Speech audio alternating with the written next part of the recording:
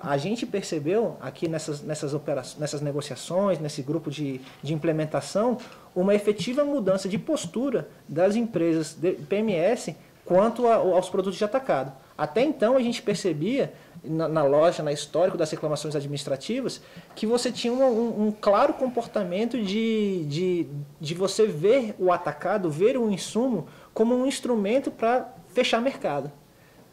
Depois dessas negociações, quando a gente teve, principalmente no que diz respeito aos preços que foram apresentados nas ofertas de, de referência, a gente percebe uma mudança de postura.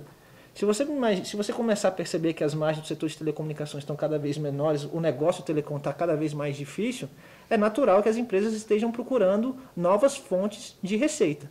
E a gente identifica que, e, e, a gente identificou claramente nesse processo negocial que tem já o que seis meses, uma mudança de postura. No começo não havia essa postura, ao longo dos seis meses, nesse processo, essa postura foi sendo modificada e hoje a gente vê com bons olhos, a gente vê que houve uma evolução, tanto do ponto de vista do, do, do entendimento e, da, do, e do que é o mercado de atacado, da sua função para o mercado de telecomunicações como um todo, e uma consequente mudança na postura das empresas detentoras de PMS. Como é que isso dá na prática? Porque elas baixaram o preço? O que, que aconteceu? Onde vocês viram essa mudança? Eles apresentaram a oferta de referência deles em março. Iniciamos esse processo negocial em paralelo com as, o, desenvolvimento do, o sistema. desenvolvimento do sistema. E o que, que, se mostrou? Na verdade, nós utilizamos uma série de, de, de mecanismos é, de análise desses, desses, dessas ofertas é, para poder fazer a homologação. Então, homologamos essas ofertas e, na verdade, esse processo de negociação conduziu a uma redução de preço. Nós fizemos uma série de análises segundo os princípios de replicabilidade, fizemos um processo de discussão de convencimento também, e nós podemos ver que, ao longo desse processo, houve uma, uma significativa é, redução nos preços e uma, uma cooperação maior, sem a necessidade, eventualmente, de uma cautelar da agência, de uma, de uma situação que, que até então muitas vezes acontecia. Você, para poder convencer uma empresa a, a seguir uma, um entendimento é, que, que para nós era, era necessário para o mercado, muitas vezes, e é normal também, isso faz parte do jogo, você ter que tomar decisões é, de maneira com enforcement em cima. Na, verdade, o que, que nós fizemos? Nós tivemos um processo negocial, um processo muito intenso, muito duro, não foi, não foi simples, mas foi um processo duro, mas que nós conseguimos ver ao longo desse período que houve um amadurecimento no setor. Se ele já está no nível ideal, não, não podemos dizer agora, mas que houve um, um amadurecimento na visão de que produto de atacado de fato é um negócio de, e a gente consegue ver sinais claros disso porque há sinais de que podem surgir compradores que hoje estão, não estão não estão no radar. E as empresas podem conseguir receitas de atacado, aumentar as suas receitas de atacado a patamares acima do, do, daqueles que existem hoje. Ou seja, situações em que muitas vezes para uma empresa maior, ela, ela, ela mesma cumprir a obrigação no varejo, se ela, pod, ela poderia vender aquilo no atacado e, e, e, e haver então uma, uma uma oferta do serviço por meio é, do, de, um, de, uma empresa que comprou aquele insumo no atacado, para aquela empresa que, que, que, negociou o insumo, é interessante também. Então, situações que antes eram vistas como de possível fechamento de mercado, são vistas como fronteira de negócio.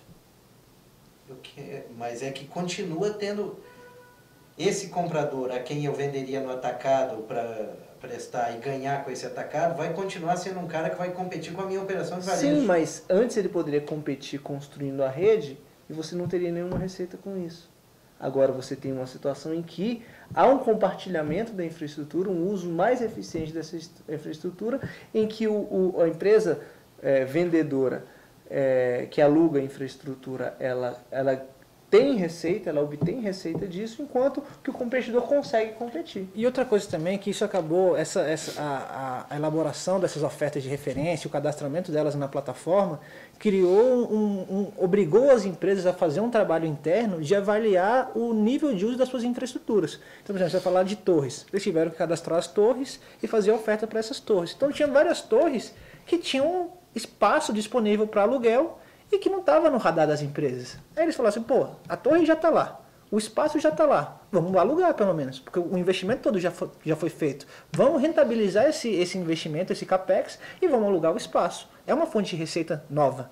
Então está se vendo, criou-se uma necessidade das empresas terem que rever todo o seu cadastro de infraestruturas e nesse movimento, nesse processo que foi forçado pela Anatel, identificaram e falaram assim, pô, Anatel, ainda bem que você me obrigou a fazer isso, porque eu identifiquei uhum. vários fontes de receita, várias infraestruturas, dutos, postes, que estavam lá que eu posso só alugar, que eu não estou usando. Ou vender. Ou vender. Ou eu vender. posso usar, posso vender, posso... Como se vendeu. Como Ou se vendeu. Que tinha, não, vou vender essas coisas. É, exatamente. Sim, mas mesmo que você venda, um exemplo, para um grupo não verticalizado, é, isso é para o mercado, porque isso um é grupo não verticalizado não vai ter um interesse, por de exemplo, fechar de mercado. discriminar, de fechar mercado. Então, você cria um, um, uma engrenagem que, no meu entendimento, ela pode, naturalmente, que não vai estar hoje é, é, funcionando perfeitamente por uma questão que é o início, mas você criou um novo mecanismo, que eu sempre digo, é um novo paradigma nas relações entre as empresas, que, no meu entendimento, é, viabiliza ou, ou, cria um ambiente de competição muito mais favorável, muito mais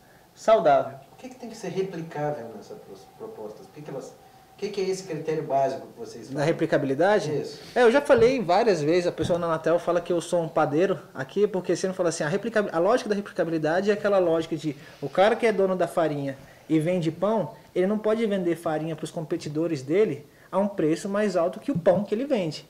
Ou seja, ele não pode. Como é que se, como é que se, como é que se consubstancia o fechamento do mercado? Aumentando o preço do, do, do atacado. E aí o cara não consegue competir. Então qual é a nossa lógica? Ele fala assim, beleza, faça a sua oferta do seu preço de farinha. E a gente vai pegar o seu pão e vamos ver se é replicável. Ou seja, se aquele preço de farinha, do, do insumo, permite que o produto final seja replicado nas mesmas condições comerciais. Essa é a análise de replicabilidade. Quando você fala de telecom, você está falando de um produto de varejo que no caso que a gente utilizou, que foi identificado no PGMC, da banda larga fixa. Então você tem a banda larga fixa como produto de varejo. E para prestar esse serviço de banda larga fixa é necessário o quê? A rede de acesso, uma ILD e uma interligação. Então, que é o backbone IP. O backbone IP. A transmissão. A transmissão. Então, basicamente, o que você tem que garantir? A PMS, ao, ao fazer uma oferta desses três produtos, e ter esse produto no mercado final, um entrante tem que conseguir comparar esses três produtos e replicar esse preço de varejo. Essa é a nossa, essa é a nossa regra de replicabilidade.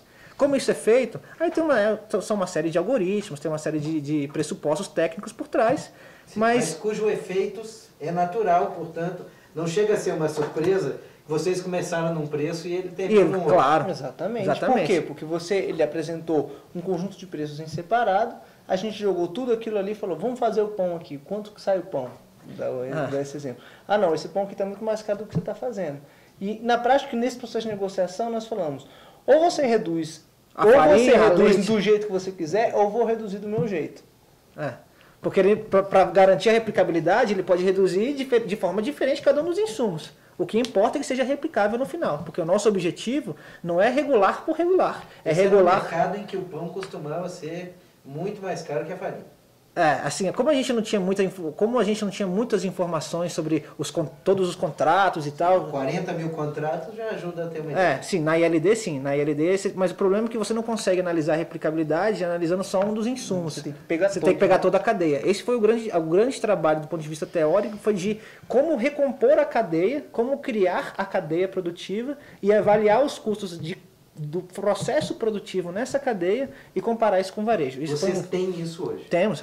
A gente, isso foi para consulta pública. Vocês sabem quanto custa a empresa tal passar... Não, não. A gente não, isso é o custo. Uma coisa é custa... Não, em cada coisa, pedaço. É o que nós temos, é a cadeia dos produtos de atacado que compõem o, produto, produto final. final. de varejo. Então, eu tenho, por exemplo, uma relação. Por exemplo, esse produto de varejo, ele seria composto, pelo menos por esses produtos de atacado, mais uma margem para demais custos que, se, que, que, que, custos que comerciais, serão, que, que serão aderentes a isso. E, e, por uma questão de, de até de discussão, porque como esse processo é um processo negocial, nós também discutimos com empresas não PMS. Então nós discutimos, vem cá, qual que é, quais, quais, qual que são os espaços que existem, ou quais os patamares de preços que vocês entendem como razoáveis para os diversos produtos. Também fizemos benchmark internacional, por exemplo. Quanto custa na média um phone bundle no exterior? Já orientado a custo. Quanto custa um bitstream? Então nós fizemos, na verdade, um grande mapeamento para poder fechar essa equação. Então você tem é, é, grandes testes que nós utilizamos para poder dizer para as empresas, ó, está homologável, não está homologável, está homologável por isso, não está homologável é. por isso. Justamente para evitar, porque como se você pergunta para um, um cara que vai comprar se ele acha que é caro ou barato, não importa o preço, ele fala, é caro. É sempre melhor, é sempre melhor do mais barato. Então sempre vai ser caro. Então, para não entrar numa discussão se é caro ou barato, que é uma questão totalmente relativa, a gente decidiu ter um teste, que a gente chama de teste de replicabilidade, que basicamente faz isso. Você tem todos os preços e você faz um teste de replicabilidade. Então você não tem mais uma discussão, eu acho caro, eu acho barato. É um teste que é replicável ou não é, é um algoritmo.